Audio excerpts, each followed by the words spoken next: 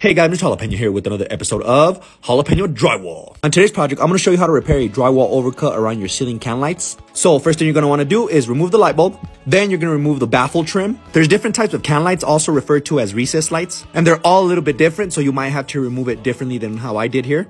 Get your utility blade and you're gonna wanna cut a beveled edge around the gap. Just be really careful, you don't wanna cut yourself. And then I also recommend you get this product, it's called Easy Sand 5. A lot of people call it quick sit, hot mud. This stuff sits in five minutes so you're able to apply multiple coats in a short amount of time. But honestly, you could just use regular joint compound. The only thing is that it takes forever to dry and I probably wouldn't finish the job in one visit. So if you have the time to let it dry overnight, then just use joint compound. But if you wanna finish the patch in one day, then get that Easy Sand 5. And as you can see here, I'm making sure I push in the product into the gap pretty good. And then you're you're gonna apply a little bit of FibaFuse tape. You can also use mesh tape or just regular paper tape. And then go ahead and put the tape over where the gap was. Don't worry about that tape sticking out too much. We'll cut it out once it's dry. Then you're gonna wanna apply a coat of hot mud on top of the tape. This is gonna help cover up the tape, that way you don't see it once you're done. Cause that's kind of the point, right? You don't wanna see the patch. And I'm using my heat gun here to just speed up the process a little bit more. I ended up doing three thin coats of the hot mud. And now that it's set, I can cut off the excess tape. And now it's texture time. You've probably seen me use the Easy Pro texture system or the hopper to shoot the texture, but today I'm gonna use the Laco TG600 hand pump texture gun.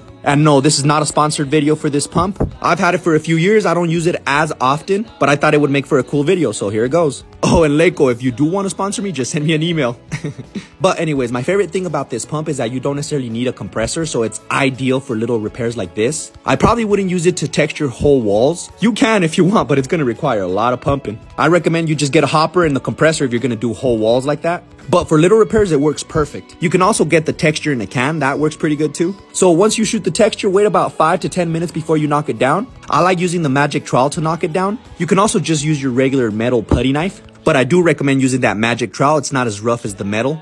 Obviously, now that you've knocked down the texture, you're almost done. And if you want to get any of the tools or products I use here in this video, just go to the link in my bio, go to my Amazon storefront and click on Drywall Repair Essentials. They are affiliate links, so I do benefit monetarily if you're kind enough to use them. But anyways, now all we have to do is remove the plastic we stuffed into the can light, put up the baffle trim, and install the light bulb. You can also wait until it dries before you install the trim, but I wanted the homeowner to see how it was gonna look. The homeowner is gonna paint it tomorrow, and that's it. Jalapeno Solutions. Boom!